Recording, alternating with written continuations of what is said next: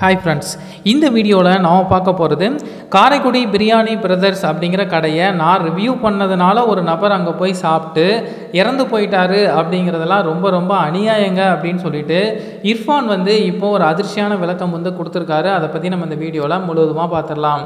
யூடியூப்பில் இர்ஃபான் அப்படிங்கிற ஒரு நபரை தெரியாதவங்க யாருமே இருக்க முடியாது. உலகெங்கும் நிறைய இடத்துக்கு போயிட்டு அந்த இடத்துல இருக்கக்கூடிய ஒரு ஃபேமஸான ரெஸ்டாரண்ட் போவார்.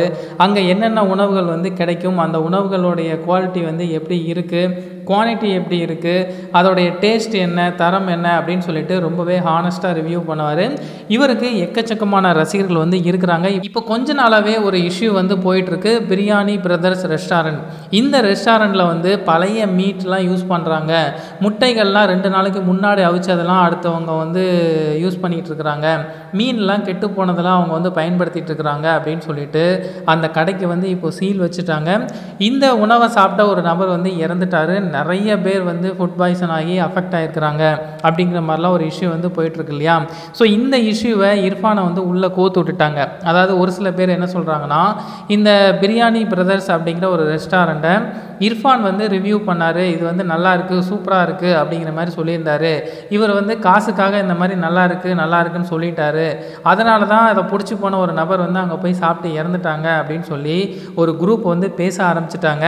ஒரு கட்டத்துக்கு மேலே பொறுக்க முடியாத முடியாதுப்பா அப்படின்னு சொல்லிட்டு இர்ஃபானே இப்போது ஒரு விஷயத்தை வந்து ஷேர் பண்ணியிருக்காரு. நான் ரிவ்யூ பண்ணது வேறு கடை. இப்போ இஷ்யூ போயிட்டு இருக்கிறது கடை. ஒரே பில்டிங்கில் ரெண்டு கடை இருக்குது அதில் ஒரு கடைக்கு தான் நான் வந்து போயிருந்தேன். இப்போ மாட்டினது வந்து ரெண்டாவதாக இருக்கக்கூடிய அந்த கடை.